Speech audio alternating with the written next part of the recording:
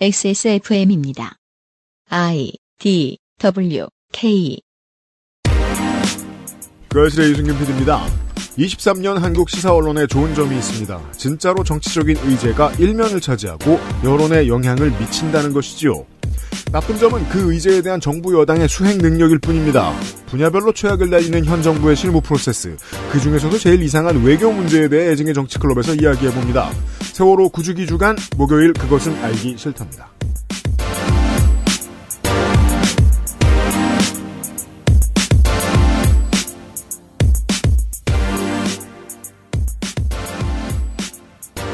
안녕하세요, 청취자 여러분. 큰 행사를 끝내고 저는 윤세민 에디터와 함께 있습니다.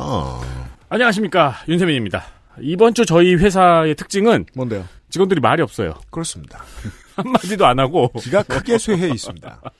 네. 자기 할 일만 겨우겨우 하고 있어요. 저희도 큰 행사였지만 국가적으로도 큰 행사가 여기저기서 많이 있었습니다. 지난주에 4.16 관련된 행사를 다녀오신 청취자 여러분들도 꽤 계실 거라고 생각하는데 못 가신 분들은 4월 초에 주로 많이 몰려 있었고 지금은 안 하죠. 참여연대에서 돈을 내가지고 서촌 노란 리본 공작소라는 곳에서 노란 리본을 만들 수 있는 제작 키트를 공짜로 보내줍니다. 이달 말까지 신청하실 수 있습니다. 서촌 노란 리본 공작소를 검색해서 달라고 해보십시오. 지금까지 차 앞에 룸미러에 걸려 있는 거, 가방에 걸려 있는 거 부러워하셨던 분들께 기회입니다. 음. 그리고 여러분 많은 주변 사람들에게 나눠줄 수 있도록 여러 개를 보내줍니다. 아 그렇군요. 네. 세월호 구주기에 그것은 알기 싫답니다. 460, 아, 그건 요파시구나. 음, 501회입니다. 잠시 후에 시작하겠습니다.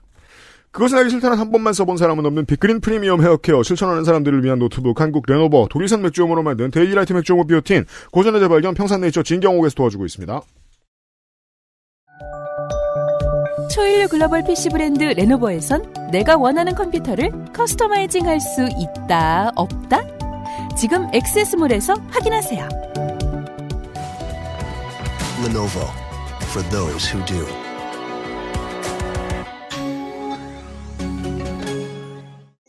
병풍 추출물 70%, 비오틴, 판테놀, 4가지 과일 추출물, 이 모든 걸 하나로 빅그린 시카 샴푸. Big Green 중건성용 탈모 샴푸 빅그린 시카 다른 제품과 원료를 비교해 보세요. 다른 제품과 다려낸 방식을 비교해 보세요. 진짜가 만든 진짜. 고전의 재발견. 진경옥. 평산네이처.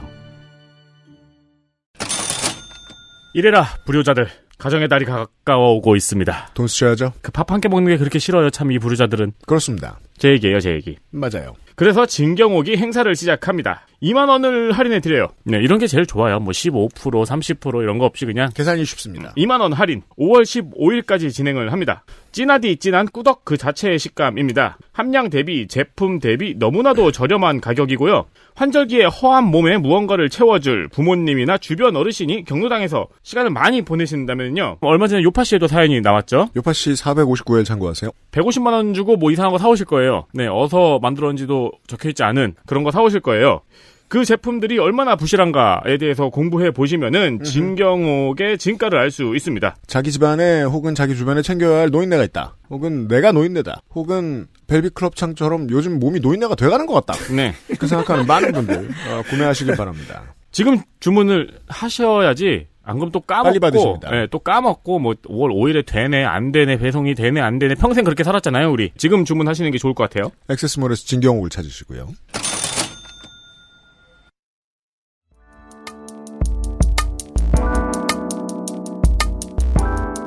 기본에 충실한 뉴스 큐레이션 애증의 정치 클럽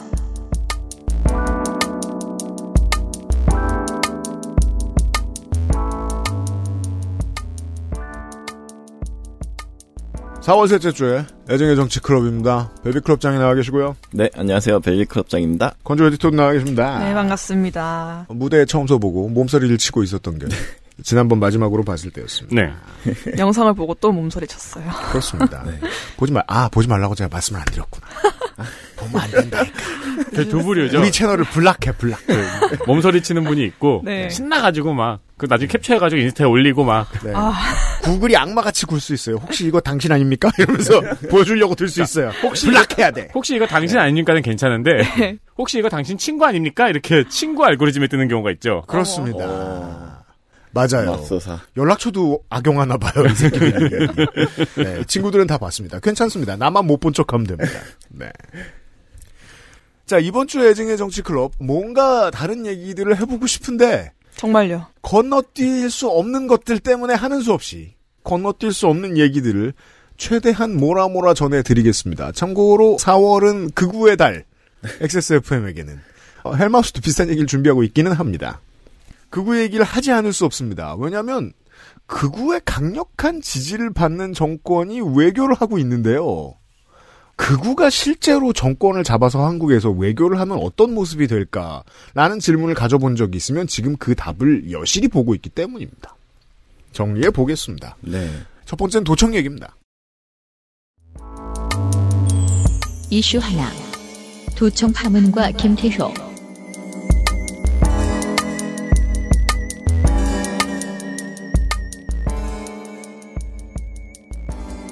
계속해서 이슈들이 많이 있는데 뭔가 계속 흐름은 비슷한 이야기를 하게 되는 것 같아서 그런데요. 네, 오늘 그래서 도청 이야기를 들고 왔습니다. 네, 정리를 간단하게 하겠습니다. 네.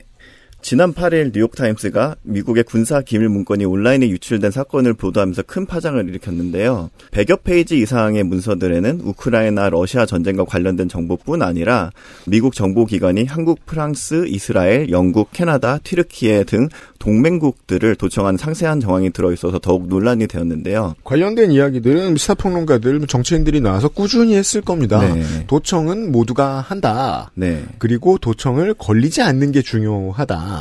왜냐하면 스파이란 세상 어딜 나가서도 자기가 스파이임을 들켜서는 안 되니까. 음. 그게 특이한 직업이니까 자꾸 영화 주인공이 되는 거 아니에요? 음, 그렇죠. 중요한 힘을 가지고 있으되 절대로 어디 가서 보여줄 수 없는 한계를 가지고 있으니까. 음, 예, 근원적으로 외로운 직업이니까. 네. 그 다시 말해 무슨 걸리지 말라고. 그 걸린 뒤엔 어떻게 되냐? 걸림을 당한 쪽에서 외교적 이득을 취하는 다음 수순이 이어지는 거죠. 그렇죠. 그래서 미국은 언제나 잘못된 스파이 교육을 받은 사람들이 나가서 실수할 때마다 덤탱이를 엄청나게 씁니다. 음. 그리고 한국은 덤탱이를 하나도 안 씌워주는 착한 외교를 했고요. 이거. 그렇죠. 그런 얘기죠. 네. 그렇게 하면 정말 기회가 될 수가 있는데 음. 어쨌든 되게 민감한 사안입니다. 그래서 음. 미국이나 아니면 도청 당사국들은 굉장히 신중한 입장을 보이면서 내용이 사실이 아니다 이런 식으로 부인을 했어요. 그렇죠. 우리나라도 뭐 비슷하게 사실이 아니다고 했는데 우리는 조금 더 나갔습니다. 우리는 신중하다 못해 오히려 미국을 두둔하는 듯한 행보를 보여서 여론의 문매를 많이 맞았는데요. 맞습니다. 어, 왜 이런 반응을 보였을까 한번 차근차근 알아보도록 하겠습니다. 네. 사실이 아니다라는 게 걸린 게 이미 똑같은 행동을 우리나라에서 했었죠. 네. 네, 그 일정이 걸려서. 네네.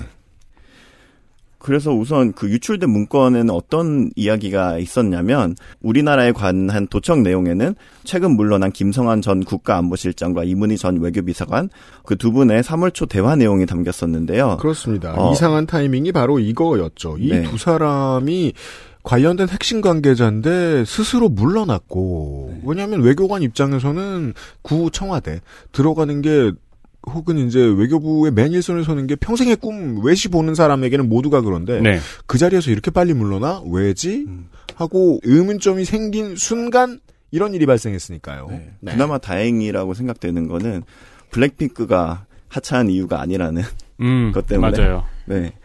그 핑계로 단 1, 2주일 묶어놨었어요 여론을. 네. 실제로는 이걸 들키지 않기 위한 거였다는 게 지금은 밝혀진 셈입니다. 타임테이블상 그렇습니다. 네. 그래서 이런 대화 내용을 조각하면 대충 이런 내용인데요. 미국이 한국에 우크라이나 포탄 지원을 요청했다. 그리고 추가적인 압박이 우려되는 상황이다. 한국은 우크라이나 사태와 관련해 살상 무기를 지원하지 않는다는 입장이기 때문에 미국의 요청에 사실 응할 수는 없다. 하지만 직접 지원을 우리가 한다면 반발이 예상되는 만큼 어, 폴란드를 통해서 33만 발의 155mm 탄약을 우회해서 지원하는 방안을 한번 생각해 볼 수는 있겠다. 네. 네. 그래서 이어서 이제 한국산 포탄 수송 계획 일정표도 이제 유출이 됐어요. 그 문서들 가운데. 거기에는 이제 진해에서부터 독일의 노르덴함 항까지 33만 발의 포탄이 어떻게 운송되는지에 대한 계획이 상세히 정리된 문서였습니다. 네. 이 문서는 미국 측이 우리나라의 도청 내용을 토대로 예상하여 작성한 것으로 보이는 그런 문건이었습니다. 그렇습니다. 네. 그러니까 외교가 어떻게 진행되는지에 대한 하나의 디테일을 새롭게 알려주죠. 공식적인 입장을 외교 라인이 논의를 해서 정해서 미국에게 알려주기 전에 이미 미국은 준비를 시작한다는 거예요. 네. 그러니까 33만 발 오늘 오케이. 그럼 다음날 어떻게 진해의 페덱스 같은 걸로 넘어가느냐. 음, 음. 저쪽이 미리 알고 있을 땐 가능하다는 거죠. 미국이 외교를 잘하는 이유를 역설적으로 설명을 해주기도 합니다. 음. 도감청을 잘하니까. 네. 맞습니다. 게다가 또 이 문제에 대해서 그 외교관들을 많이 만나보고 다녔던 매우 현 정부에 대해서 공격적인 기자들이 이미 지금 우리가 녹음하고 있는 오늘 시점에 다 파냈죠. 이거 운송하는 기사의 인터뷰도 나왔고 음. 실제로 대수가 맞는지도 다 체크했고 노르데만 함으로 어디를 거쳐서 갔는지까지도 송장 다 파악해냈잖아요. 진짜 말한 대로 된 거예요. 네. 음. 네. 그래서 이렇게 문건들이 유출됐는데 우선 미국 정부는 이렇게 도청 의혹이 불거지자 문건 일부가 조작됐을 가능성을 제시했는데요. 네. 그러면서도 도청 사실 자체를 부인하진 않았습니다. 그리고 문서 유출에 대해서는 어, 공적인 영역에 있어서는 안 되는 것으로 이에 대해서는 변명의 여지가 없다 이렇게 말했습니다. 음. 한국에 대해서도 유감을 표명을 하면서 긴밀한 공조를 약속했는데요. 음. 어, 향후 조치에 대해서는 조사해보겠다는 그런 원론적인 입장만 내놨습니다. 그러니까 두 글자로 배째죠. 그 보수를 열렬히 지지하는 어떤 고관여층 시민들이 궁금해하는 지점이 이겁니다. 오, 왜 우리 정부는 절대로 뭐라고 안 할 태도를 가진 사람들인데 지난번에 한일 정상회담 전후에도 그 태도를 봤잖아요. 근데 왜 먼저 숙이고 들어가지? 하나. 어, 일단 미국의 외교관들은 상식적인 사람이고요. 걸렸으면 개욕 먹는다. 일단 자기도 잘리 잘리게 생겼고 백악관에서 이걸 아는 사람들이기 때문이기도 하고 한국 언론이 깐 게 아니잖아요. 뉴욕타임즈가 깐 거잖아요. 음. 네. 이 타임테이블을 보수의 어떤 사람들은 헷갈려 하더라고요. 음. 걸려도 아무 일 없을 정부인데 왜 이렇게까지 하지? 우리 곤란하게? 뉴욕타임즈가 있으니까 그렇지. 뉴욕타임즈를 우리가 소환조사하지 못하잖아요. 전용기에 안 태우지도 못하고. 네. 네. 그렇게 했는데 대통령실은 11일 도청 의혹에 대해서 터무니없는 거짓 의혹 이렇게 일축했습니다. 그래서 네. 미국이 조금 머쓱하게 됐는데 백악관을 혼쭐 내줬어요. 장, 장발장 신부죠. 그렇습니다. 그 은초 때는 원래 네 겁니다. 그렇습니다. 이해의 선물이라고 하죠. 네. 그거 아직도 가르칩니까? 와. 장발장이 훔쳤다고 했는데 안 훔쳤다고. 굉장히 종교적인 태도로 외교를 하고 있는데요. 네. 네. 이에 대해서 또 근거는 제시하지 않았어요. 음. 그리고 또 국민의힘 소속 국방 외통 정보위원들은 이런 정부의 공식의 입장에 발을 맞추며 민주당의 비판에 이렇게 반박했는데요. 어, 민주당은 언론 보도를 마치 사실인 양 확정짓고 주권 침해, 대통령직 졸속 이전에 따른 안보 공백이니 하면서 대정부 정치 공세와 반미 선동에 혈안이 돼 있다. 반미. 네, 반미. 반미 맛있죠. 나왔습니다. 네. 맛있죠. 맛있죠. 처음에 대통령실과 백악관이 했던 말이 똑같았어요. 네. 문건 일부가 조작됐을 것이다. 음. 네. 이건 미국이 말하면 당황해서 저러는구나. 라고 생각할 수 있는데 한국이 말하면 우리는 한국에 앉아 있으니까 이 생각부터 해야죠. 그럼 사실인 문건 상당수가 빠져나갔다는 거잖아. 그렇죠. 부인하려면은 문건 일부가 조작됐을 거라고 이야기하지 말고 도청돼서 보도된 그 내용은 전혀 사실이 아니다라고 이야기를 해야지. 그 정치적 기술이 재밌더라고요. 원래 정치적인 수사라는 건 누구를 홀리고 더 나아가서 누구를 적극적으로 속이기 위해서 만드는 말이잖아요. 음. 문건 일부는 거짓이라는 말은 대체 누구를 속이기 위해 만들었을까? 음. 정치를 생각할 때는 내 말을 진심으로 들어줄 사람이 얼마나 어리숙할지에 대한 계산이 제일 중요합니다. 그 감각이 제일 중요한데 음. 이 말에도 속을 거라고 생각하는 사람들 정도만 데리고 가겠다는 의지로 볼 수밖에 없습니다. 음. 상당수가 유출됐다는 말을 뒤집어서 한 말일 뿐인데 네. 음. 조작만 맞습니다. 강조하면서 내용이 또 거짓은 아닌 거죠. 그렇게 애매하게 사실 말하면 되고 프랑스나 이스라엘 같은 국가들도 그런 식으로 애매하게 얘기를 했는데 어떤 기자는 그거를 point out 하더라고요. 그러니까 그냥 사실이 아닌 내용이 있다라고 말하는 것과 사실이 아니다라고 말하는 것과 이거는 거짓이다. 이거는 완전히 터무니없는 거짓말이다. 완전히 조작된 거다. 음. 위조다. 이렇게 말하는 거는 완전 뉘앙스가 다르다고. 그렇죠. 근데 우리는 그냥 어 이거는 그냥 조작된 거다. 이렇게 말해 버렸잖아요. 그렇죠. 그래서 한 걸음 더 나아간 거였는데 음. 이렇게 말하면서도 또한 또. 애매한 네 애매한 계속 알쏭달쏭한 태도를 보였는데요. 음. 똑같은 기자회견에서 여당은 이렇게 설명을 했어요. 음. 정보의 수집 대상은 적군만 아니라 아군도 포함된다. 국가적 차원에서는 정보는 외교 관례상 정보 출처와 내용 등에 대해서 알아도 아는 채 하지 않는 것이 성숙한 태도이며 다소 불미스러운 사실이 드러났을 때도 양국 간 조치는 물밑에서 이루어진다. 네. 네. 봐주겠다. 어, 네. 무엇보다 이제 김태효 국가안보실 1차장의 발언이 가장 논란이 되었었는데요. 12일 미국에 도착한 김태호 차장이 미국이 우리에게 어떤 악의를 가지고 도청했다는 정황은 발견되지 않았다라고 말했습니다. 네. 그렇죠. 그러니까 도청을 했는데 네. 막 아, 배고파 그럼 밥을 줄 생각으로 그렇죠. 뭐 쓸데없는 TMI. 겨울 시즌만 되면은 그런 사회부 기사들 가끔 나옵니다. 남의 집 전기를 끌어다 쓰는 사람들에 대한 이야기. 도전이라고 하죠. 음. 그걸 도전이라고 네. 하죠. 한국에서 도청이라는 단어의 어원도 그런 걸로 저는 알고 있어요. 왜냐하면 옛날에는 가장 하이테크 기기가 라디오이던 시절, 음. 그래서 방송국 같은 건 이제 국가가 대한제국 말기죠. 처음 만들어내던 시절에는 이게 하이테크 기기니까 당연히 일련 번호가 다 있어야 되고 관이 관리를 해야 되는 거예요. 라디오를 하나 사면 일련 번호를 등록하고 관련돼서 수신료를 내고 그래서 라디오를 듣는. 그래서 라디오가 집에 나오는 집은 잘 사는 집인 거죠. 음. 근데 트랜지스터 기술이 있는 동네 아저씨들은 많기 때문에 음. 이 사람들이 라디오를 일부러 만들어 주거나 아니면 일본에서 흘러 들어온 음. 무언가를 가지고 만들어 놓은 것들이 있잖아요. 그럼 등록을 안 합니다. 돈이 많이 들어가니까. 대신에 옆집 전파를 주워다 쓰죠. 음. 그때 도청이란 단어가 처음 만들어진 거라고 저는 알고 음. 있어요. 제가 이 말씀을 왜 드리냐면 훔친 거란 소리입니다. 굳이 이 말을 하는 이유는 네. 도청과 감청이라는 단어 구분하느라 여당과 야당이 싸웠어요 이번 주에. 네. 음. 왜냐하면 이건 도가 붙어야 되니까. 아 맞아요. 예, 그럼 어느 도둑질을 악의가 없다고 해야 되는가? 착한 장발장 도둑질. 문제인 거예요. 그렇죠. 사실. 착한 도둑질과 나쁜 도둑질 이렇게 나누어가지고 그래가지고 아니 그러면 도청은 불법적인 수단인데 여기서도 악의와 선인을 나누자는 건가? 음. 뭐 추구하는 목적이 정의이고 선이라면 뭐 수단은 불법적이라도 정당화될 수 있는 건가? 그래서 참 마키아벨리를 소환해야 할 것만 같은 그렇습니다. 철학적 질문을 남겼는데요. 네. 어쨌든 이러한 표현으로 유추해 볼 때는 우선 도청 사실은 분명히 있었던 거고요. 음. 네. 그리고 이는 14일 유출 용의자가 미국에서 체포되면서 더욱 기정사실화됐는데요. 네. 어, 참고로 너무 어이가 없었는데 음. 유출 용의자는 2001년생 잭 테사이라 일병으로 매사추세츠 공군 방위군 소속 음. 군사 통신망 관리를 담당한 것으로 알려졌습니다. 일병이. 네, 일병이 일개 일병이 음. 그랬는데 목적도 그냥 본인이 운영하는 디스코드 채널에서 그냥 멤버들한테 어 나 이런 사람이다 음. 이렇게 과시하기 위해서 문서를 유출시킨 것으로 파악이 돼요. 아, 인증이었군요. 네, 음, 그렇죠. 네. 음. 그래서 이를 통해서 정말 미국에서 정보 관리를 이렇게 어이없이 하나?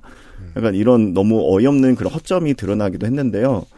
그러니까 고작 일병이 1급 기밀 문서를 집에서 들고 와서 이제 사진을 찍어서 올린 거거든요. 일곱 기밀 네. 문서가 일병이 접근 권한이 있었던 것도 신기하네요. 아, 그래요. 아무리 네. 관련 보직이라고 하더라도. 네, 그거 그것도 그런데 또 그거를 집으로 가지고 왔어요. 그래서 이제 그 본인 집에 있는 테이블에다가 올려놓고 이렇게 사진을 찍었는데 음, 그걸 통해서 이제 FBI나 이렇게 유출해가지고 이제 체포를 했더라고요. 네, 기밀에 대해서는 네. 이런 류의 기본기들을 가르치고는 합니다. 뭐 제가 군대 있을 때 배웠던 것까지 다 종합해서 얘기하면 병사는 그 미국하고는 또 병사의 권한이 좀 다르긴 합니다만 병사들이 3급 기밀 이상을 취급한다는 건 저는 어느 군대에도 없다고 알고 있어요. 저는 2급까지 했던 것 같아요. 저. 넘어가고 넘어가면 저는 이건 범법은 아닙니다만 저도 이런 짓을 한 적이 있습니다. 대회비 문서는 대회비라고 찍혀 있는 거 어디서 주문해 가지고 빈 종이 받아오잖아요. 어. 네. 그거 몇 개 집으로 들고 온 적이 있어요. 빈 종이. 네. 대회비 출력용 A4. 저는 뭐가 몇급 기밀인지도 몰랐어요. 그 뭐가 문제냐면 이제 보통은 요렇게 가르치는 걸 기본이라고 생각합니다. 군이 기밀을 많이 다루는 건 사실인데 군이 기밀을 다룰 때에 계급별로 접근할 수 있는 것, 부처별로 접근할 수 있는 것을 완벽하게 통제할 수 있어야 하는데 이게 통제가 어려워질 때는 기밀의 양이 인력의 양보다 너무 많이 늘어날 때라는 음. 거예요. 이게 이제 기초적인 원리입니다. 아, 근데.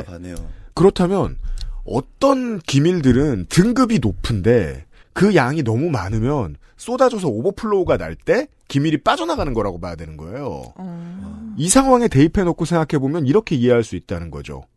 매일 도청했다면서요. 양이 얼마나 많을 거야. 이러면 빠져나갈 수 있다는 거예요. 행정 처리를 하다 말고 귀찮은 걸 병사한테 넘길 수도 있고. 음. 혹은 이걸 할 수 있는 컴퓨터가 돌아다니는데 장교의 숫자가 너무 적어가지고 부사관의 숫자가 너무 적어가지고 여기 병사 한 명 더 집어넣어라고 했을 수도 있다는 거죠. 그 중에 어떤 사람이 하루 종일 남는 시간은 오버워치만 하는 사람일 수 있었다는 거죠. 예 그렇다면 이거는 한두 사람의 스파이의 잘못이 아닌 거죠. 미국 시스템 전체가 이러고 있다라는 거예요. 그렇다면 미국이 정보를 다루는 행정 전체에 대해서 뭐라고 했을 수 있던 거죠. 너무 좋은 기회였던 거예요. 아, 그거 예. 갈수록 참. 다시 한번 타임 테이블을 좀 들여다보자고요. 네. 한국이 정부가 좀 엉성한 것 같다라는 궁금증을 가장 많이 받았을 때는 이제 주 69시간 얘기 네. 했을 때였어요. 대통령이 그렇게 생각한다고 했다가 저 뭐냐 고용노동. 공약도 냈다가 나중에는 대통령이 혼자 그렇게 생각하시는 것 같다고 했다가 음. 정부에서 장관이 막판에 가서는 잘 모르겠다고 했다가 그랬다 이제 또 추진한다고 다시 합니다. 네. 네. 다시 집어넣었죠. 그, 그 전국이 지나갔다고 생각했는지 서로 대화가 안 되는 시스템도 보통은 인력들이 모여가지고 그러니까 시스템이 영성하게 만들어질 때는 실력에 비해 너무 적은 사람이 있거나 실력에 비해 너무 많은 사람이 있거나 일이 너무 많을 때 인데 그러면 회의를 똑바로 안 한다는 거잖아요. 회의를 똑바로 안 했으니 대처를 어떻게 해야 할지 모여가지고 논의할 시간이 없었으니 이런 엉성한 대처가 나왔다고 생각을 해봐야겠죠. 음. 이건 아주 중립적으로 봤을 때 보이는 문제랄까요? 실력이 없어 이런 거 아닌가. 대처가 이렇게까지 엉성했던 이유는 계속 뒤집히고 자기들이 인정했다가 안 되면 반미로 넘어가는 건. 네. 일관성만 보여줘도 시민들은 보수 정당을 버리지 않아요. 일관성 문제라고 저는 생각합니다. 결론이 이상했던 게 아니라 결론 자체가 안 나서 이렇게 된 거다는 거죠. 네, 그렇죠. 결론을 내줄 대통령. 음. 쉽게 말하면 대통령. 대통령이 여기에 시간을 충분히 쓰지 않은 게 아닌가. 네, 그래서 어쨌든 김태우 차장은 이제 미국 국빈 방문 조율을 일정을 마치고 15일 돌아왔는데요. 음. 그러면서 이제 양국이 이것을 함께 전화 위복의 계기로 삼자는 인식이 확고하게 일치한다 이렇게 말하면서 네가 그렇게 나를 궁금해하는지 몰랐어. 그렇게 궁금했다니. 앞으로 잘 지내보자. 앞으로 잘 지내보자. 앞으로도 네. 자주 연락할게. 그러니까 자주 연락할게잖아. 네, 우리 더 많은 걸 서로 내가 알아- 너무 알아- 소홀했던 것 같아. 네. 내 인스타를 그렇게 많이 들여다보고 있는지 몰랐어. 좋아요도 누르지 그랬어. 그래서 이번 논란을 오는 26일 한미 정상회담 의제로 다룰 계획은 없다 이렇게 밝혔는데요. 가장 중요한 말들이 다 한 사람의 입에서 나왔습니다. 그래서 외교 문제에 관심이 없으셨던 분들이 김태호가 대체 누구야? 라고 궁금해하시는 분들이 계세요. 음. 음. 그래서 일단 저자세 외교 논란은 계속되고 있고 그럼에도 불구하고 일단 덮고 가겠다는 뜻으로 해석되는 부분입니다. 그렇습니다. 그래서 이제 아무리 정부가 인기가 없어도 정부 발 보도 자료와도 같다고 말할 수 있는 아젠다 기사들은 계속 쏟아져 나오잖아요.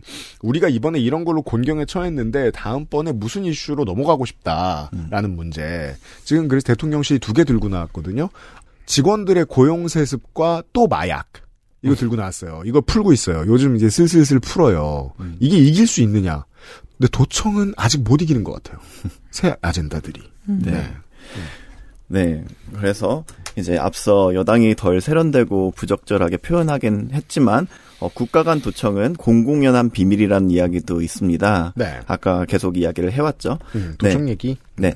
그래서 미국의 동맹국 도감청 사실 적방된 것은 근 10년간 이번이 세 번째이며 음. 한국 도청 의혹 또한 이번이 처음이 아닙니다. 그래서 이미 뭐 전 세계 미국 군사 안보 기술력과 규모를 봤을 때 다 뻗어 있는데 음. 이미 다 알면서 당하고 있을 가능성을 외교안보 전문가들은 제시를 하고요. 음. 2013년에 큰 사건이 있었죠. 미국 국가안보국의 에드워드 스노든이 내부 고발 사건이 있었는데 이것으로 인해서 미국의 민간인 사찰 프로그램뿐 아니라 한국을 포함한 동맹국 감시 사실이 폭로가 되었습니다. 특히 이제 앙겔라 메르켈 독일 총리 같은 경우에는 메르켈 총리의 휴대전화를 10년 동안 도청했다는 사실이 알려지면서 독일이 미국에 강력하게 이제 항의를 했는데요. 물론 그때도 이제 우리나라도 미온적인 태도를 보였다는 평가를 받습니다. 음. 그래서 2007년 노무현 정권 말기와 이명박 정권 초기에 해당하는 시기에 미국은 한국을 초점 지역으로 설정해서 미군 기지 내에 특별 정보 수집부를 설치하고 정보 수집을 활동을 해온 것으로 알려졌습니다. 또한 미국의 주미 한국 대사관도 도청했다는 의혹이 불거졌습니다. 음. 그래서 당시 박근혜 정부는 외교부 대변인을 통해 미국의 사실 확인을 요청한다고 밝혔을 뿐 그 이상의 대응은 없었습니다. 음. 어, 심지어 이 당시 한 정부 관계자는 우리도 외국 정상이나 고위 인사가 오면 도청을 시도한다. 다만 우리 첩보 기술이 떨어져서 제대로 하지 못하는 것일 뿐이라고까지 말했습니다. 이놈이나 저놈이나 지나치게 솔직해요. 이 세상은. 네. 그래서 어 이때도 뭐 미온적인 태도라고 이제 이렇게 평가를 받았는데 적어도 이때 이번 박근- 정도는 아니었어요. 네 그때 박근혜 정부는 이제 엄중한 사항으로 간주하고 있다 이렇게 표현을 했어요. 음. 네. 그리고는 물밑에서 접촉을 한다는 얘기는 다시 나가서 물밑에서 접촉할 때 무슨 얘기를 하느냐잖아요. 지금은 그렇게 하고 있는 것 같아요. 근데 보통 이제 외교에서 상례는 물 밑에서 이때 이렇게 드러난 뒤에 접근을 물이 엎어진 뒤에 접근을 하면 그럼 이 대가를 우리한테 뭘 해줄 수 있을지를 얘기하는 거라는 그렇죠. 게 당연하잖아요. 네. 네. 근데 지금 공공연하게 김태수 시장이 하고 있는 말을 들어보면 우리는 아무것도 요구하지 않을 것임을 알 수 있죠. 굉장히 마음이 부자인 것 같아요. 이번 우리나라 마음이 부자입니다. 아니 그리고 예수님의 가르침이에요. 네. 보통 우리가 이제 에이 미국은 다 도청했겠지라고 해도 음. 우리의 상상력은 그뭐 화내는 척하고 미군이 미안하다 하고 그렇게 겉으로는 연기해도 뒤로는 딴 얘기 하지라는 게 보통 우리가 그죠. 가질 수 있는 상식이잖아요. 네. 그러니까 화내는 척 사과하는 척 연기라도 해왔던 게 그 동안인데 네. 이번엔 그것도 안 하는 거잖아요. 네. 우리나라도 실제 그 2011년에 그 인도네시아 특사단이 머물던 아주 신나는 사건이 있었죠. 이거 제가 뉴스 아카이브에서 한번 말씀드렸죠. 아, 그렇군요.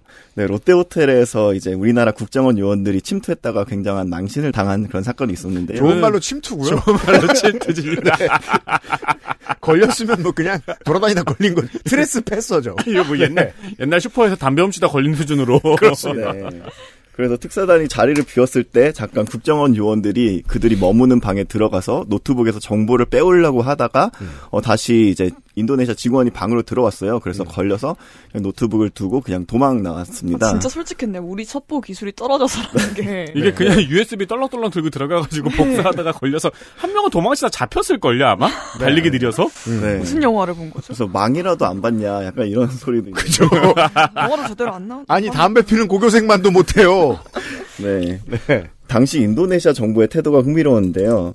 초기에는 수차례 오해라고 자국 언론에 이야기를 했습니다. 그래서 문제가 확대되는 것을 원치 않는 분위기였어요. 근데 이게 한국 안에서 너무 큰 이슈가 되니까 어, 형식적으로라도 이제 어, 국정원 연루 여부에 대해 진상 규명을 공식 요청했습니다. 음. 그러면서도 또 이제 민감한 정보가 유출된 건 아니다 이렇게 밝혔는데요.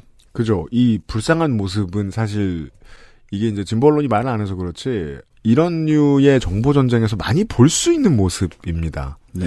우리가 당장 얻어내야 될 게 너무 많은 나라들이 아쉬운 소리를 못하는 장면. 음. 네. 하지만 이걸 다 알아도 여전히 화나거든요. 우리가 그렇게까지 아쉬워? 음. 네. 미국한테? 그러게요. 음. 네. 그래서 이처럼 국제사회에서 치열한 정보전은 늘 펼쳐지는 만큼 단지 냉정한 현실이 드러났을 뿐이기에 이번 일이 너무 놀랄 일은 아니라고 전문가들은 말합니다. 아 그때 그래서 기억나네. 그때 와서 전투기 사갔잖아요. 네네네. 네 그래서 뭐 깎아줬나 막 이런 얘기 했었어요. 맞아요. 그 정보를 빼오려고 그런 협상을 좀 더 잘하기 위해서 음. 뭐 들어가는 거다. 뭐 이런. 인도네시아가 너무 얌전히 그냥 알았어 뭐 그럴 수, 네. 그럴 수도 있지 이렇게 넘어가길래 네. 아, 좀 깎아줬나 보다. 네. 아. 네 네네. 그래서 MB 정부 청와대 외교안보 수석을 지닌 천영욱 전 비서관은 어, 동맹인데 왜 도청하냐고 따지면 웃음꼴이 된다 이렇게 말하기까지 했습니다. 네. 하지만 위성락 전 러시아 대사는 이 문제가 정보 영역에서 외교 영역으로 넘어왔다. 그만큼 이제 수면 위로 드러난 이상 단호한 입장을 미국에 밝혀야 한다고 당연한 말을 했습니다. 네, 중요한 지적입니다. 외교관이 여기에 대해서 나서지 않으면 외교관은 완전히 무능한 사람입니다. 네. 나는 그냥 정보원에게 스파이에게 종속되는 변수에 지나지 않는다고 인정하는 거잖아요. 음. 네. 그래서 엄연히 주권 국가에 도전하는 행위잖아요. 그래서 한 전직 외교부 고위 관계자는 항의라도 안 하면 나라 꼴이 이상해진다 하면서 이건 한미 동맹을 훼손하는 게 아니라 오히려 더 건전하게 발전시키는 길이라고 주장했습니다. 음. 그래서 분명 적어도 형식적으로라도 항의를 표시하는 것이 주권 국가로서 당연히 해야 할 일인 듯 해보이나 이번 대통령실의 태도는 어떻게 보아도 저자세라는 논란을 피하기 어려워 보입니다. 어, 특히 3월 내내 일본과의 이상한 외교의 여파가 여전히 가시지 않는 상황에서 이달 말 미국 정상회담을 앞두고 많은 국민들의 걱정만 더해가고 있습니다. 그래서 착한 도청과 나쁜 도청 이거를 마치 구분하는 듯한 김태우 차장의 태도와 인식이 더욱 불안하게 만드는데요. 네. 이런 맥락을 건조 에디트가 이어서 풀어드리겠습니다. 네, 광고 후에 김태호가 누군지를 좀 알아보겠고요. 옛날에 어렴풋이 그런 말씀 제가 들었던 기억이 납니다. 우파가 강한 나라에서 집권을 하면 정복 전쟁을 하려고 들고 음. 약한 나라에서 집권을 하면 나라를 넘겨주려고 한다. 그, 그 나라를 넘겨주면서 독재를 하려고 하죠 보통. 그렇죠.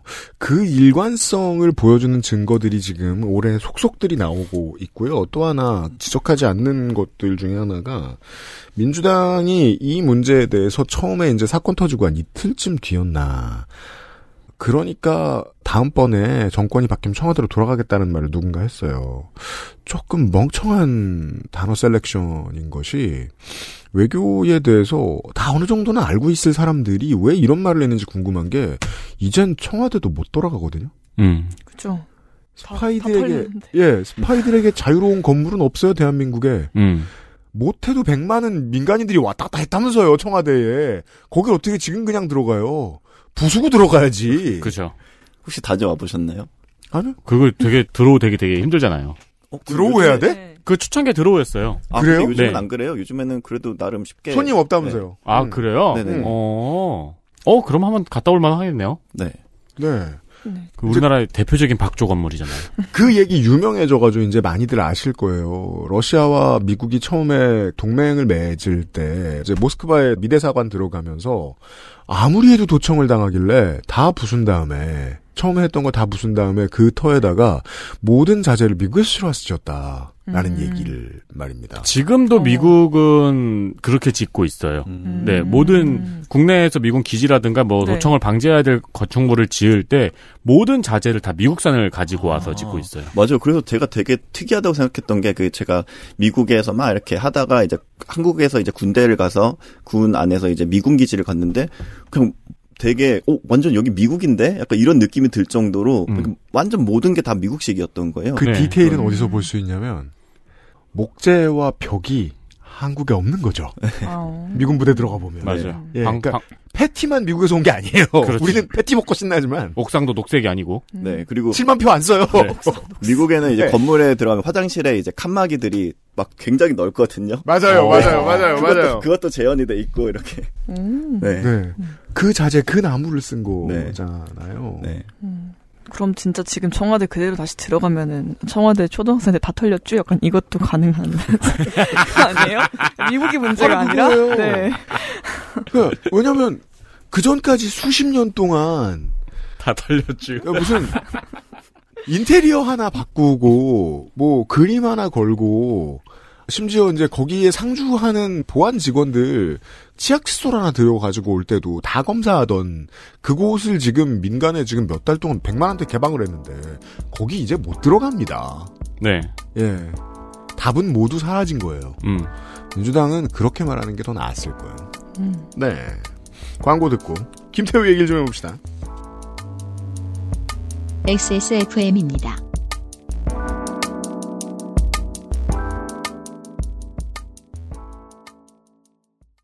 말할 수 없는 고민 직접 확인해 보세요. 데일리라이트 맥주 효모.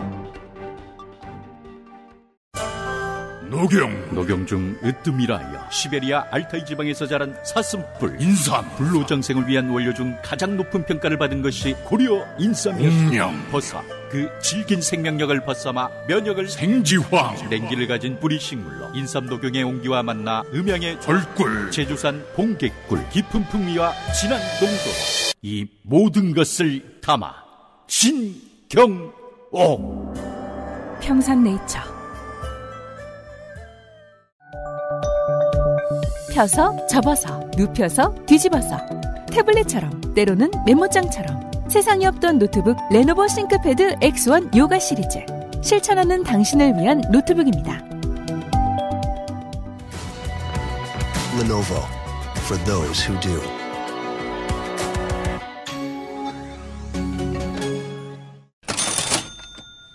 자, 공개방송 때 수고해주신 많은 회사들이 있었어요. 한국 레노버도 그랬습니다. 레노버 500회 현장에서 150명이 스타벅스 커피 쿠폰을 받아 가셨어요. 어, 여기 앉아 계신 출연자들에게는 금시초문이죠. 그렇죠. 네. 우린 대기실에 갇혀 있었으니까요. 추운 방에 가다 놓고 있었어요, 네. 제가. 네. 좋은 거 가져가셨네요. 꾸르꾸르 먹었었어요, 그래도. 아, 맞아요. 아, 누가 갖다 주셨죠? 네.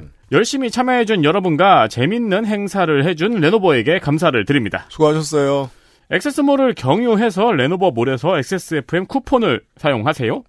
XSFM 레노버 페이지로 가서 노트북 상품 보기를 클릭하고 레노버 몰에서 마음에 드는 노트북을 장바구니에 담아요. 결제 전에 쿠폰 코드를 입력하고 쿠폰 코드는 XSFM 숫자 2 레노버 대문자요. 대문자입니다. XSFM 숫자 2 L E N O V O 결제하고 제법 오래 기다리면은 적용이 됩니다. 전에도 말씀드렸는데 노트북 하나 사겠다 하면 아이고 또 며칠을 알아봐야 돼 싶잖아요. 음. 뭐가 싼지 어디가 좀 더 싼지 쿠폰은 뭔지 네. 그다 시간 낭비잖아요. 그거 열심히 알아보셔가지고 사는 게 재밌는 분은 그렇게 하시고 네. 대표적으로 저희 대표님이 있죠. 그렇죠. 저죠. 많이 안 알아보고 적당히 그냥 빨리 손해 안 보고 사고 싶다 하시는 음. 분들은 레노버를 방문해 주시면은 결코 손해는 보지 않습니다. 전후자 모두에게 가격 조건이 너무 좋기 때문에 네. 그냥 가시면 되겠습니다. 한국 레노버 고마워요. 액세스몰을 들렸다 가십시오.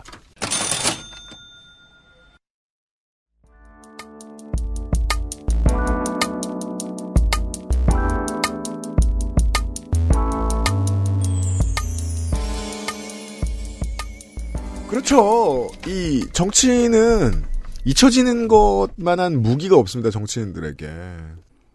제가 이제 지난번에 이제 그 40대, 50대가 2000년대의 정치를 기억하기 때문에 지금 어떻게 반응하는가에 대한 말씀을 드린 적이 있었습니다.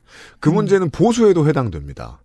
MB 정부 때를 기억할 필요가 없거나 기억하지 않는 사람들이 있다면 가장 좋아하는 건 누굴까?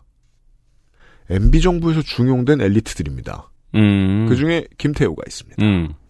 아, MB 정부가 황태자처럼 아꼈던 사람들이 두 명 있습니다. 정치권에는 김태호 경남지사. 음.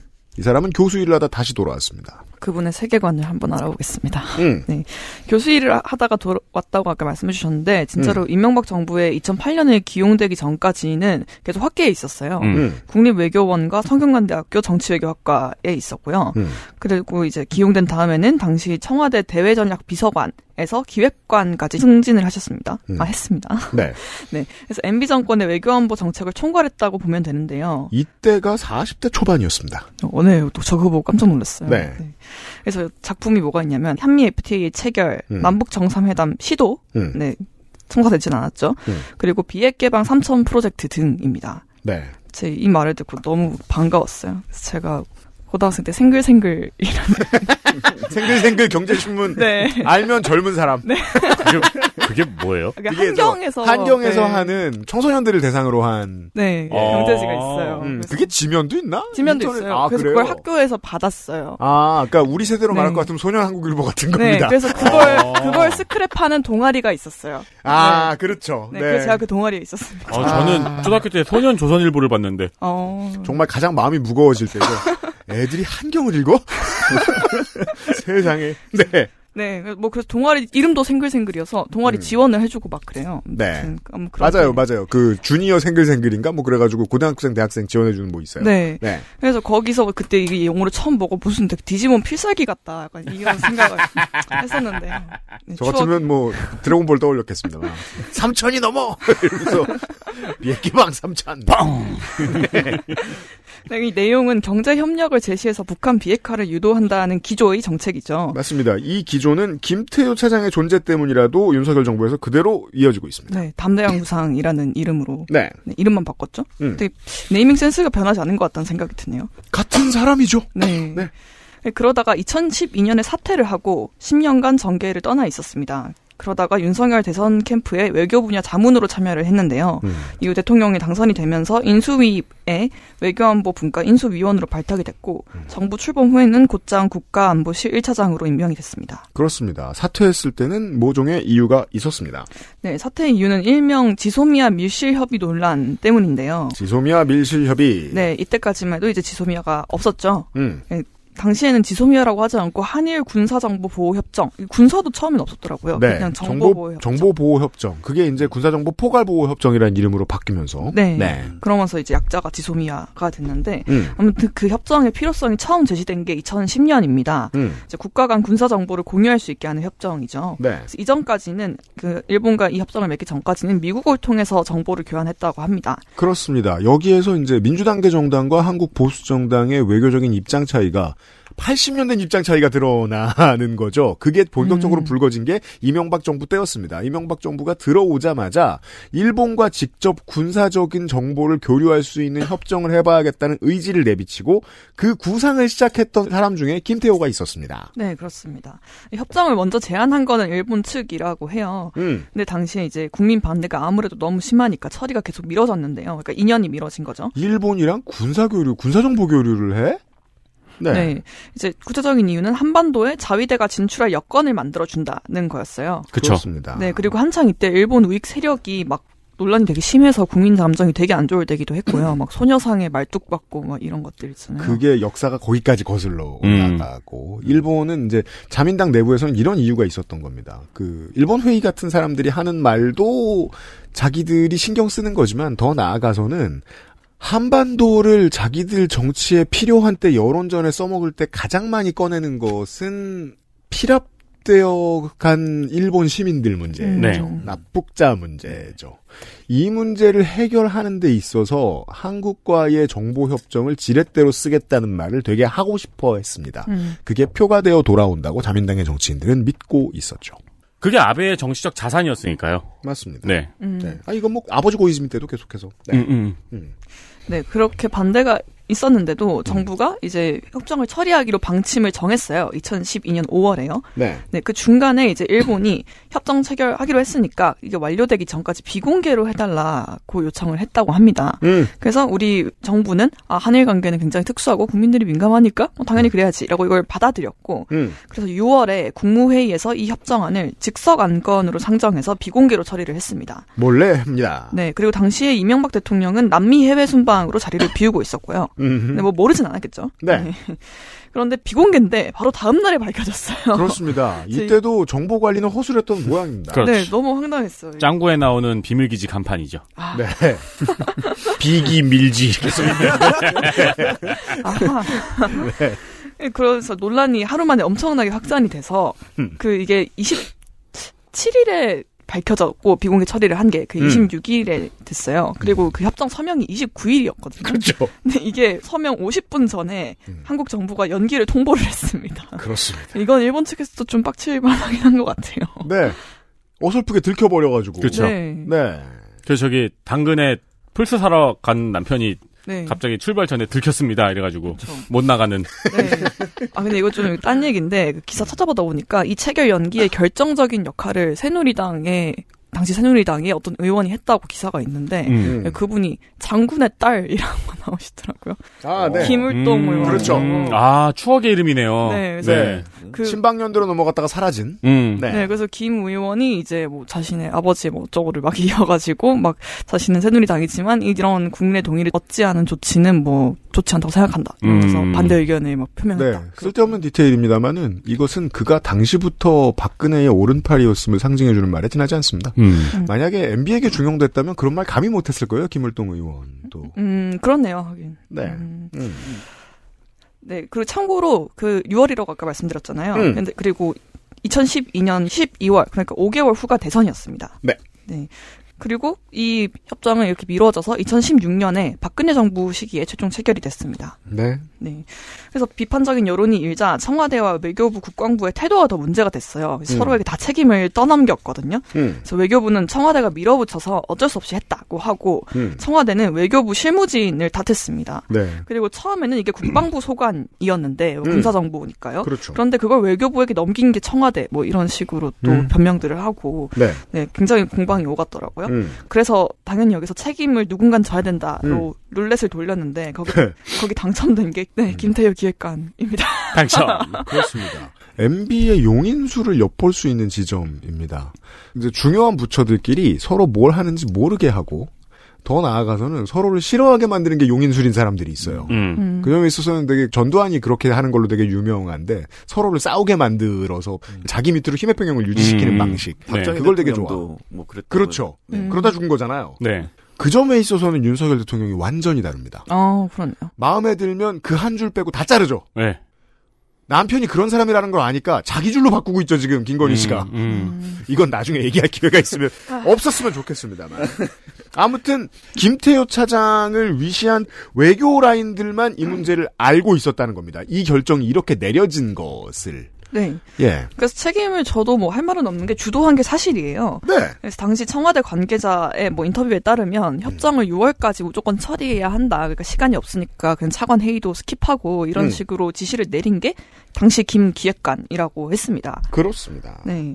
그리고 그런데 이제 본인이 밝힌 사태의 계기는 뭐 이런 절차상 문제에 책임을 진다라는 게 아니라 자신의 논문과 관련된 논란입니다. 음. 이때 이제 김태효 차 장이 뭐 아, 김태효 기획관이죠 당시에는 뭐 이 건과 관련해서 이러이러하게 지시를 내렸다는 보도가 계속 나오니까 네. 경향신문에서 단독으로 그 김태효 기획관이 쓴 논문들을 이제 일면에 딱 발표를 했어요. 네. 그 사람이 이런 주장을 했던 사람이다라고.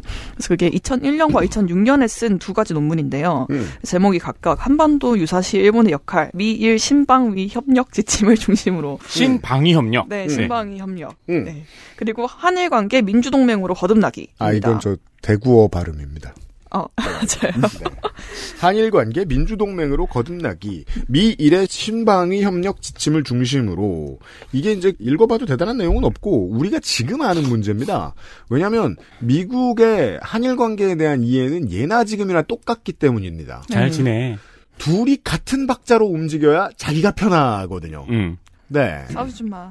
네, 근데 그 둘이 같은 박자로 움직이라고 해서 50년대에 미국이 취했던 방식은 일본의 모든 무기를 뺏어버리는 방식이었단 음. 말이에요. 상당 무기를 한국에 주르 옮겨버리고. 근데 그런다고 해서 한일의 관계가 좋아질 리는 없잖아요. 그건 음. 상관이 전혀 없는 문제잖아요. 네. 네. 근데 둘 다 돈 많은 나라가 됐습니다, 또. 50년이 음. 지나고 보니까. 음. 70년이 지나고. 아, 그렇네요. 그 상황이 되게 다르네요. 네. 그리고 한국은 국방력을 이만큼 키웠어요. 그걸 가지고 절대 오른쪽을 쳐다보지 말라는 거예요. 미국의 마음은. 여기서 오른쪽이란 태평양. 음. 예. 왜냐하면 이미 그 짓은 북한이 하고 있기도 하거든요. 음. 음. 예. 북한은 자기들이 설득할 수 있는 범위를 넘어선 존재들이고.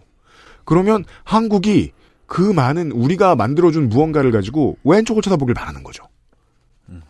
그러자면 일본과 잘 지내야 됩니다. 음. 그건 70년째 변함없는 의지고 이걸 받아들인 국내의 학자가 있었는데 그 중에 김태호가 있었죠.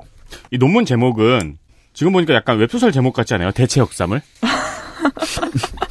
한일 관계 민주동맹으로 거듭나기. 어. 한반도 유사시 일본의 역할, 미인 신방위 협력 지침을 중심으로. 어. 일본 혼자 레벨업. 그렇죠. 네. 그런 느낌. 그렇죠. 그 웹소설 톤으로 하면 약간 좀 더 눈 떠보니 한일 관계가 민주동맹이었던 사연. 뭐 그렇죠, 그렇죠. 식으로. 네. 미일 신방위 협력 지침의 건에 대하여. 아, 맞아요, 맞아요. 문장을 완결하면 안 되는.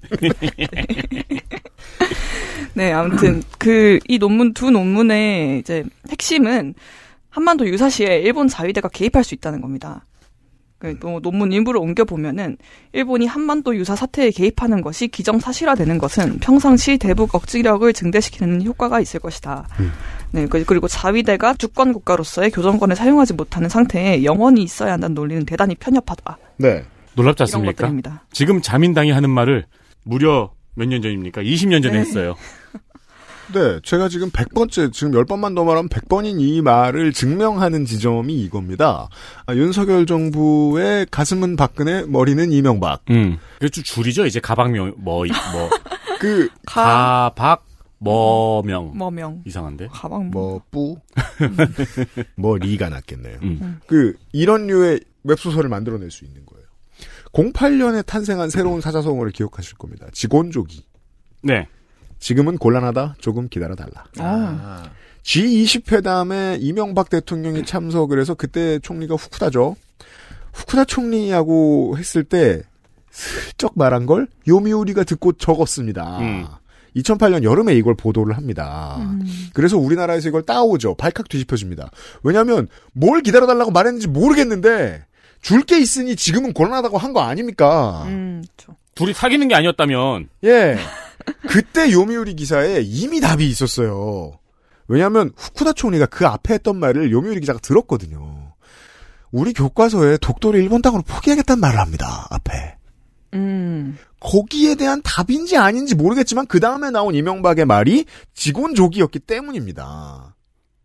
그래서 곤란했던 지금이 2008년이라면 기다림을 15년 했더니 2023년 한일 정상회담에서 이 문제가 해결됐다고 봐야 되는 거예요. 음. 그 자리와 이 자리에 김태호가 있고요. 네. 그리고 네. 그 자리에서 이 논문에서 했던 역사관에 대한 발언도 있는데 그게 음. 딱 정확히 그 두 시기를 딱 이어주고 있어요. 네. 과거사 문제는 한일 안보 협력 관계를 진정한 동반자 관계로 격상시키는데 제약 요인이 될 수는 있겠지만 음. 그렇다고 하여 양국 간 기본적으로 추진해야 할 협력의 당위성을 해치는 네. 파괴적 기능을 담당하도록 허용해서도 안 될 것이다. 음. 라고 썼습니다. 아니 근데 이 양반은 이게 논문이잖아요. 네. 기본적으로 문체를 웹소설처럼 쓰네. 다소 좀 그렇죠. 네. 파괴적 기능을 담당하도록 허용하다. 이거 엄청 일본식 말투 아닌가요? 한번 챗GPT한테 이거 논문 보여주면서 웹 소설체로 바꿔줘 이러고. 그러니까요. 어느 나라 사람이 쓴 한국말이야? 라고 물어보는 네. 것도 좋을 거예요. 음. 예. 익숙한 번역 tool. 보통은 네. 협력의 장애물이 되어서는 안 될 것이다 정도로 끝나는 문장이죠. 네. 음. 네, 김태효는 이렇게 글을 썼다, 30대 때. 음. 네. 그 당시에 경향신문이 이 논문 내용을 보도를 하면서 이렇게 평가를 했어요. 김 기획관은 일본과 가까운 뉴라이트 성향 이고 음. 그리고 이명박 정부가 시행해온 아까 제가 말씀드린 뭐 한미 FTA나 뭐 이런 것들이 뭐 이런 논쟁적인 외교 정책들이 김 기획관의 영향력 아래에 만들어졌다고 서술을 했습니다. 음. 이처럼 비공개 협정이 친일 외교 논란으로 번지니까 김 차장이 이명박 대통령에게 부담이 가는 것을 우려를 해서 자진 사퇴를 했다고 밝혔는데요. 음. 그리고 아까 전에 직원 조기를 말씀하셨는데 네. 사태 바로 다음 달에 이명박 대통령이 독도를 최초로 방문을 했습니다. 그렇죠. 네.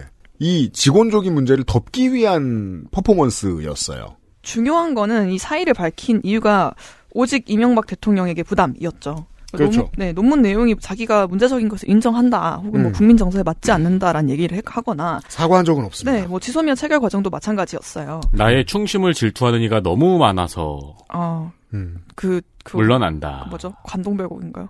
아니 그냥 지금 지은 거예요. 아, 아니요. 그 톤이 약간 그런 아. 느낌이에요. 상황이 비슷하잖아요. 음. 네, 그래서 이후에 10년 뒤에도 이러한 외교 철학이 바뀌지 않은 것 같죠. 음. 네, 김태호 차장의 1순위는 여전히 한미일 안보 협력이고 이를 위해서라면 한국은 많은 것을 감수할 수 있다고 봅니다. 그래서 빠른 협정 체결을 위해서 국민을 설득하는 과정을 미뤄도 괜찮은 거고 미국의 도청 정도는 당연하게 받아들일 수 있는 거고 음. 그리고 강제동원 배상 문제에서도 똑같이 설명을 할 수 있죠. 근데 제가 뭐 이렇게 해석을 다 일일이 모든 사안에 붙일 필요도 없이 정계에서 물러난 10년 동안에도 계속 일관성 있는 메시지를 내놓았어요. 그래서 음. 그걸 가져오는 게 제일 쉬운 것 같거든요. 맞습니다. 네. 네, 2017년에 조선일보에 실은 칼럼의 제목이 한미일 안보 협력 말고 다른 길은 없다. This is the way입니다. 네. 그렇습니다. 그 정권 바뀌는 전후쯤에 쓴 글이잖아요. 음. 정권이 자기 이후에 두 번 바뀌었단 말이에요. 사실 그 이명박에서 박근혜로 넘어가는 걸 보수에서 봤을 땐 정권 바뀌었다고 생각하잖아요. 음. 정권 두 번 바뀌고 쓴 글인데 자기 생각이 하나도 안 변했어요. 네. 그리고 이 칼럼에 2023년에 윤석열 정부 외교 정책도 그대로 들어 있어요. 아 중요한 걸 찾아냈습니다 지금. 네. 네. 문재인 정부는 안보 협력으로 일본과 신뢰를 쌓고 협력의 관행을 정착시켜 가다 보면 과거사 문제의 해결 실마리도 찾을 수 있다는 역발상을 꾀해야 한다. 음. 네, 지금 정확히 그대로 하고 있죠. 음. 네. 그렇습니다. 네. 그대로 하고 있어요. 그리고 자유대에 대한 입장도 역시 변하지 않은 것을 이 칼럼에서 알 수 있는데요. 음. 이제 네. 2016년에 아까 지소미아가 체결됐다고 했으니까 음. 이제 본인의 어떤 염원 하나가 이루어진 것이잖아요. 음. 근데 이를 넘어서서 한일 상호 군수 지원 협정 약자로 ACSA 악사. 악사. 음. 네. 이게 조속히 체결돼야 한다고 썼어요. 음. 이게 무슨 조약이냐면 이제 음. 이건 아까 지소미아는 정보를 공유하는 거잖아요. 음. 이건 유사시에 한국이 일본과 군수 물품과 용역 그 서비스를 서로 지원할 수 있게 하는 조약입니다. 군인들 도 왔다 갔다 한다는 소리입니다. 네, 그 예를 들면은 뭐 주일 밀군을 일본 자위대 수송기에 태워서 한반도에 투입할 수 있는 거예요. 음. 근데 이게 무기를 공유하는 건 아닙니다. 음. 네, 그냥 핵심은 자위대가 한반도에서 활동이 가능하다, 이동할 수 있다는 음. 거죠. 그래서 MB 정부에서 사실 지소미아 체결 전에도 이게 악사랑 같이 함께 체결돼야 실효성이 있다고 주장을 했었어요. 정보도 교류하고 군인들도 같이 왔다 갔다 한다. 음. 네. 그런데 이제 지소미아 논란이 생기니까 악사도 논의가 아예 중단돼 버려서 이건 지금까지 체결이 안 된 상황입니다. 음. 그래서 지소미아에 대해서도 여론 반발이 굉장히 컸는데 이거는 사실 더 민감한 사안인 거죠. 그렇습니다. 네, 그래서 사실 뭐 저는 그 지소미아의 존재를 그때 노제팬 운동을 한참 할때 음. 그때 처음 알았거든요. 네. 그래서 그게 당연히 있는 걸로 저는 받아들여졌어요, 사실. 맞아요. 오래된 네. 줄 아는데 2016년에 생겼어요. 네, 그렇죠. 그래서 네. 사실 뭐 지금 이제 다시 악사 얘기를 한다면 그때와 같은 반발이 있을까 싶은 생각이 들기는 하거든요. 자, 지소미아가 발효가 되고 난 다음에 몇 년, 안, 1년쯤 됐을까요? 1년이 채 안 됐을 때였나요? 정권이 바뀌죠, 한국이. 네.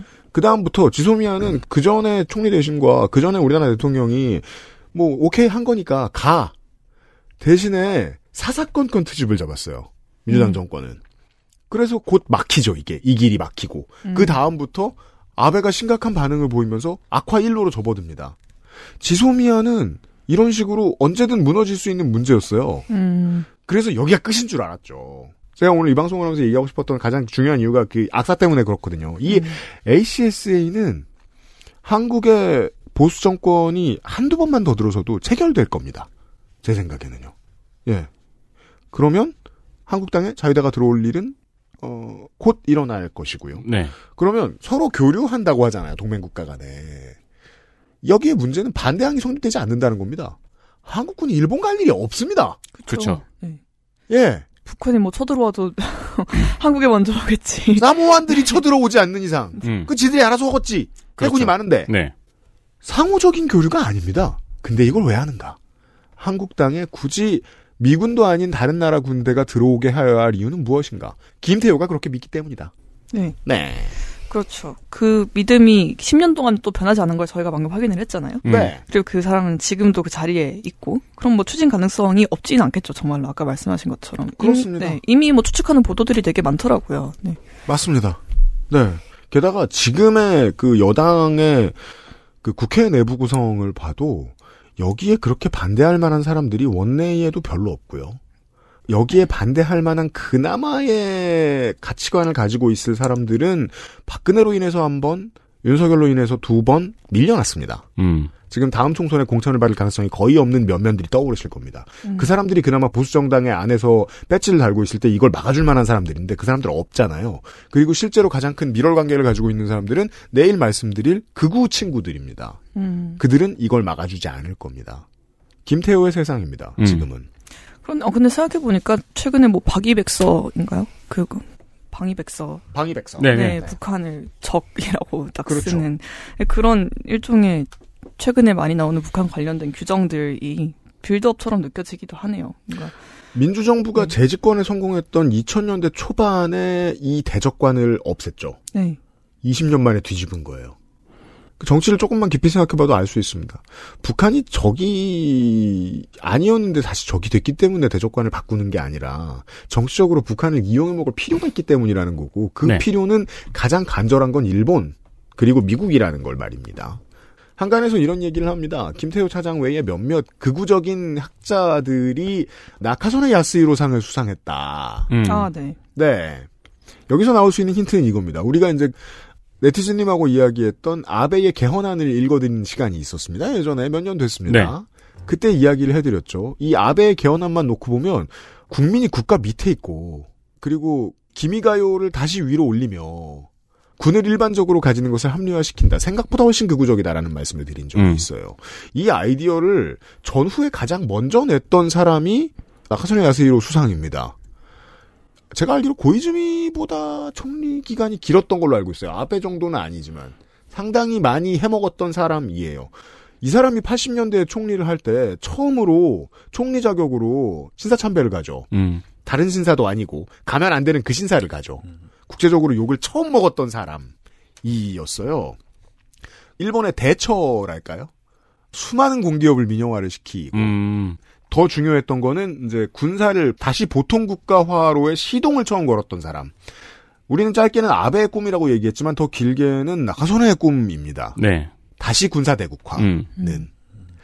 그 길로 가는 과정에 무엇이든 하겠다. 그 무엇 도구들 중에 김태호 같은 사람이 있습니다. 그러니까 이제 궁금한 거는 그 건조 에디터가 설명해준 모든 빌드업은 개헌을 위한 빌드업이란 말이에요. 음. 이런 게 모두 다 진행이 되면은 일본이 군대를 가질 수 없다는 문장은 문장만 남고 아무 실효성이 없는 문장이 되는 거잖아요. 그렇죠. 이미 네. 군대니까 심지어 해외 파병까지 하는 네. 네, 군대가 되니까 그렇기 때문에 이제 개헌만 남도록 모든 게 빌드업을 해놓는 건데 음. 가장 바꾸기 어려운 것이 문장이니까. 네. 근데 우리나라는 왜? 그죠. 그게 저 제일 의문스러워요. 우리가 이렇게까지 해야 할 이유는 정말 북한이 정말 심각한 위협이어서인가? 차후에 더 자세한 내막을 어, 정부 여당이 또 알려줄 겁니다. 그러니까요. 그때 가서 다시 더 얘기해. 네. 아니 그리고 이게 7, 80년대면은 그런 그때는 이제 광복된 지 얼마 안 돼가지고 네. 어림도 없는 소리였겠지만 냉정하게 국방력으로만 봤을 때는 이해가 될 수도 그쵸, 있죠. 그쵸. 네. 근데 지금은 세잖아요 우리나라가. 한국 보수의 그 특징 중에 하나를 기억해 주시면서 그 다음에 이 정부가 무슨 짓을 하는지 보시면 좋겠습니다. 어, 우리나라와 우리나라 사람들이 알아서 뭘 잘해왔다는 걸 인정하는 걸 죽어도 싫어하죠. 그러니까요. 네. 한국이 어쨌든 미국의 종속된 관계였다는 이 관계가 깨지는 걸 너무 두려워하는 거예요. 네. 그거에 대한 얘기를 이번 주에 지겹도록 하겠습니다. 내일 이 시간에도 좀 더 하겠습니다. 네. 네. XSFM입니다. 두피가 건조하고 간지럽다면 트러블이 생기고 심지어 비듬까지 아직 빅그린 안 써보셨나요? 약해진 두피에 필요한 건 저자극 세정, 강한 보습력으로 생기 있는 모발까지. 빅 그린 두피를 씻자 빅그린 시카 샴푸 좋아요. 진짜 확실히 좋아졌어요. 어, 이렇게까지 효과가 좋을 줄은 몰랐어요. 자신감이 생기니까 어제는 소개팅도 했다니까요. 아, 저한테 진짜 잘 맞는 것 같아요. 저 이거 먹으니까 세상에나. 아, 저 이마선을 따라서요. 잠먹. 야야, 잠만. 마고 마고 마고. 누구 망하는 걸 보고 싶나? 말할 수 없는 고민? 직접 확인해 보세요. 데일리 라이트 맥주 효모. 금주의 의사소통. 간만에 의사소통 공개방송 후기를 조금 몇 개 봅시다. 에디터가 이선우 씨의 후기를 좀 읽어드리겠습니다. 그 알씨를 듣고 있는 20대 후반 청취자입니다. 고등학교 때부터 듣던 방송이 지금까지 듣는 방송이 될 줄은 몰랐습니다. 한 10년 끼고 사셨네요. 음. 누구도 이렇게 늙을 줄은 몰랐으니까요. 그럼요. 음. 이젠 목요일이 되면 하루를 마무리하며 그 알실이 올라왔나 하고 확인하는 것이 습관이 되었고 야자를 마치고 돌아오던 길에 확인하던 습관이 이젠 10년이 되었습니다. 음. 제겐 별다른 습관이 없다 생각했는데 유피디께서 10년이 되었다고 하니 문득하고 아 이게 습관이구나를 그때서야 알아챘었습니다. 신기한 일입니다. 네, 저희의 행운이죠. 팟캐스트라는 플랫폼이 원래 이런 작동을 하는데 음. 다른 어떤 방송보다 더 이런 특성이 있는데 아, 머물러 주셔서 감사합니다. 감사합니다. 올해도록 목소리만 들어오던 유피디님 및 게스트분들을 실제로 보고 조금 낯설었는데 목소리를 들으니 퍽 친근하게 느껴졌답니다. 이게 이제 애니메이션 성우들 실제로 볼 때 느낌이죠. 아, 그 저 팬카페 처음 나가는 덕후. 그렇죠, 그렇죠. 네. 그 친숙함은 온전히 저만의 것이기에 그것을 드러내는 것이 결례일까봐 그리 반겨하지는 못했던 것 같습니다. 아, 그 엄청난 결례를 저지르고 가는 중년들 줄 서 있는 거 보셨잖아요. 아, 결례 많이 있었어요. 결례쟁이들. 네. 반가웠어요? 네. 네. UMC님의 준비하는 시험 합격을 기원해주신 사인 역시 감사합니다. 탈락할 거라고 써드렸던 것 같은데, 기억에. 네. 정말 좋았는데 너무 떨려서 표현이 안 되더라고요. 아무튼 감사했습니다. 공개 방송을 듣고 보니 왜 이 방송을 계속 들어왔었나를 알 것 같다는 생각이 들었습니다. 개별적으로 올라오는 방송을 듣다 보니 게스트분 각각의 토픽이나 개성은 알고 있었으나 15분씩 짧은 시간 동안 거의 모든 게스트분들을 만나고 보니 떠오른 생각은 유피님께서는 역시 사회 또 정치를 기능적으로 보는 시각이 편집 방향에 있었구나라는 깨달음을 얻었던 것 같습니다. 네, 그런 건 굳이 말할 필요 없죠. 음. 누가요? 저는. 아, 네네, 네.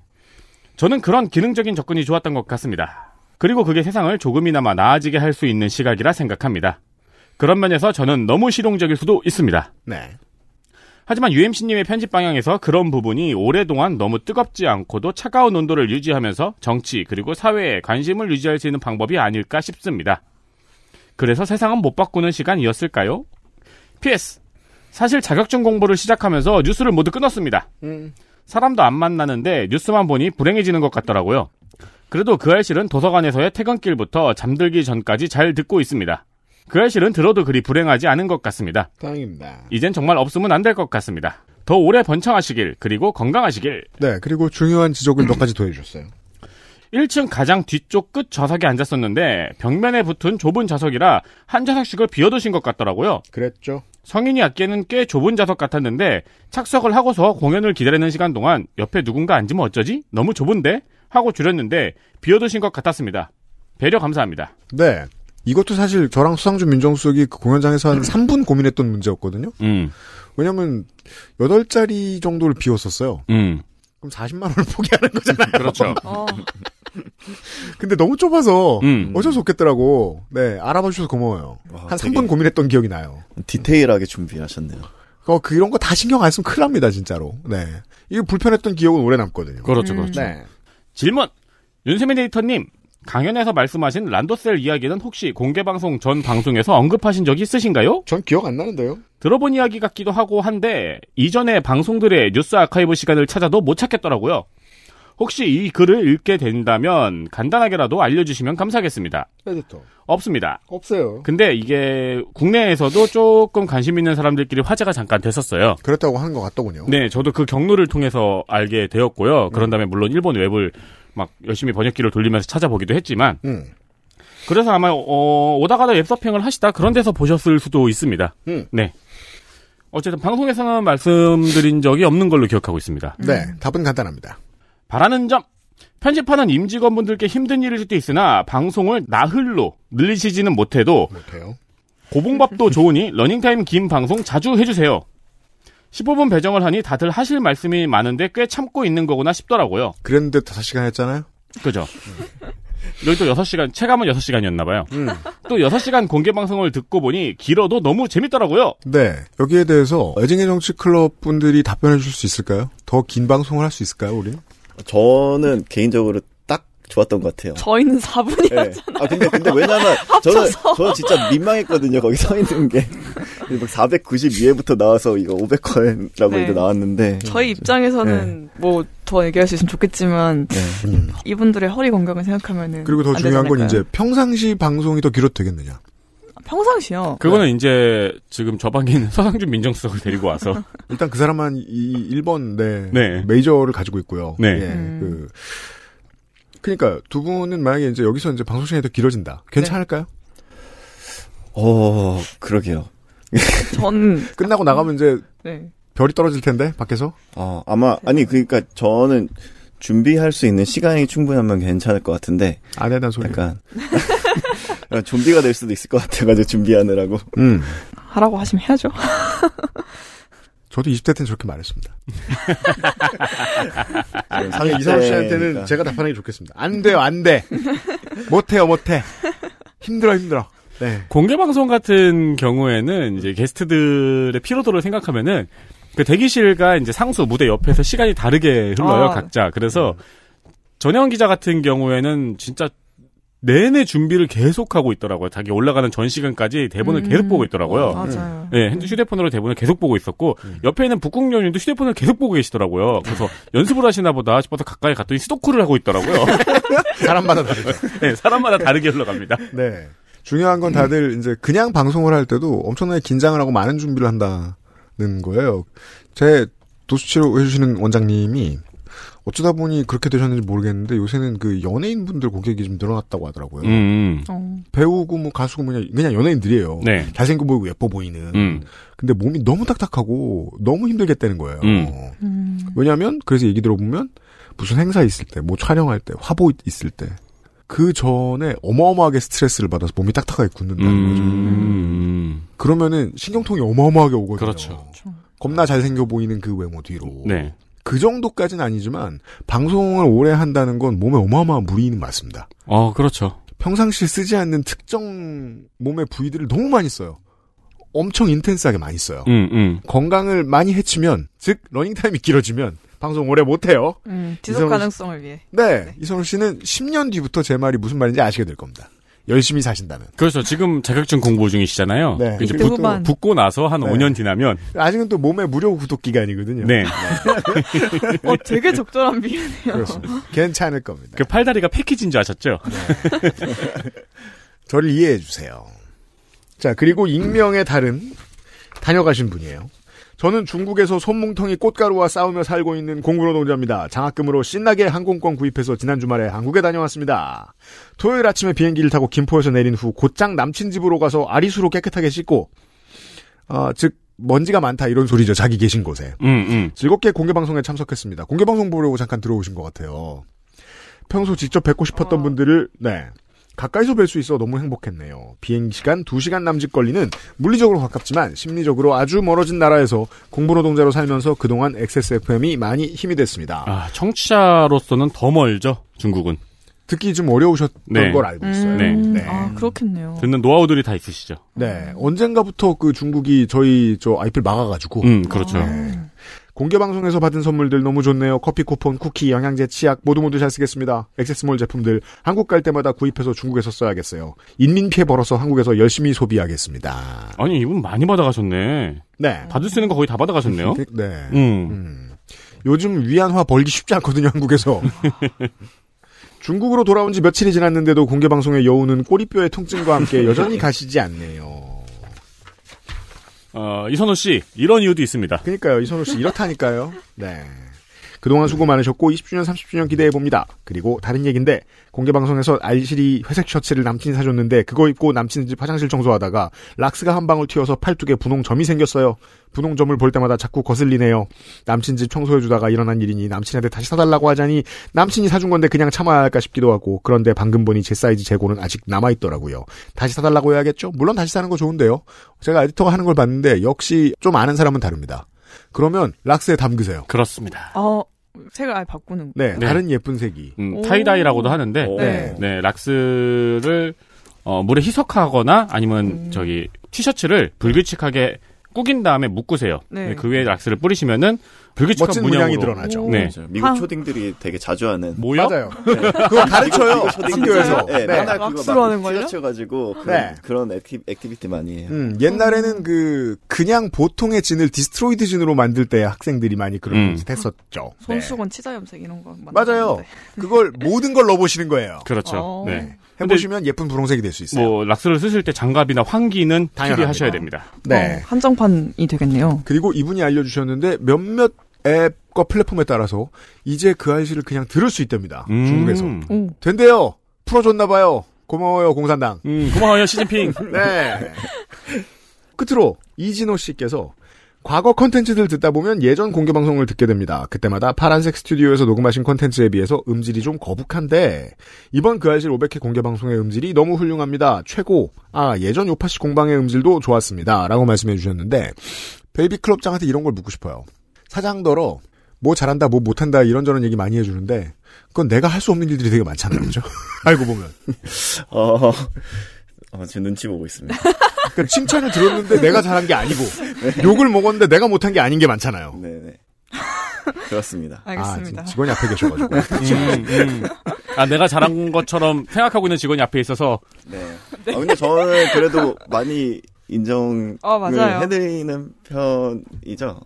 어, 근데 이 공방의 음질 같은 경우에는 대표님이 잘하시는 부분도 있는 게 과거 공개방송 콘텐츠와 이번 공개방송 콘텐츠, 최근에 공개방송 콘텐츠에서 음질 면에서 가장 큰 차이점은 돈을 더 많이 썼어요. 어, 그 정직하군요. 근데 돈을 써도 이거는 알 수 없어요. 어, 그렇죠. 결과를 알 수 네, 없어요. 네. 네. 그래서 제가 이- 이진호 씨께 드린 말씀은 저희가 잘해서 이런 일이 생긴 게 아니다. 저희 돈을 받은 사람들이 잘했어요. 예. 다음번에 또 똑같이 돈을 썼는데 얼마든지 망할 수 있어요. 아, 그렇죠. 그때 가서 나 욕하지 말란 뜻입니다. 네. 제 말은. 잘하지 않은 걸로 칭찬하지 말란 말은. 그렇습니다. 우연히 잘 됐습니다. 이진호 씨. 아무튼 많은 후기를 남겨주셨는데요. 그중에 세 분만 소개해드렸고요. 세 분께 커피비노에서 더치커피를 보내드리거나 혹은 XSFM 관여노 티셔츠를 보내드리도록 하지요. 아니면은 큐벤에서 사르락토를 보내드리기도 합니다. 그럴 수도 있습니다. 후기 많이 남겨주신 분들 감사드리고요.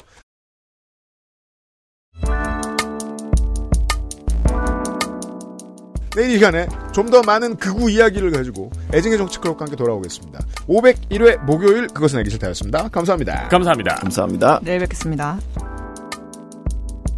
XSFM입니다. I D W K